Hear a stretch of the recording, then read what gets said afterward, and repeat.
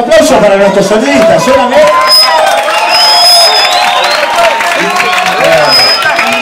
A ver, a ver, el aplausómetro que dice. Prendan el ventilador, por favor, un poco de oxígeno al escenario. Bueno, esta canción que viene ahora pertenece al último disco. En la pared. Este... Sí, señor, estoy de acuerdo. Esta canción habla de la guerra, del maltrato, de lo que es realmente el país mundial que nos pega a todos tanto Argentina, Costa Rica, hasta en España, ¿verdad? y empieza así.